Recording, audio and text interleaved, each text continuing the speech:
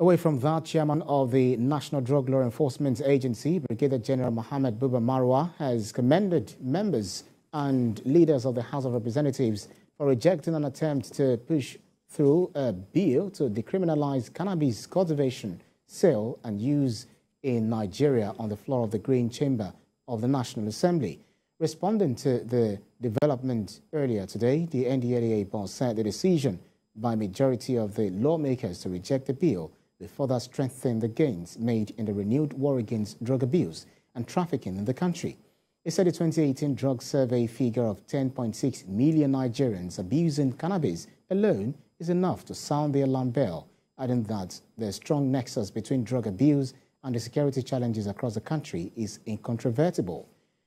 General Marwa, uh, retired General Marwa,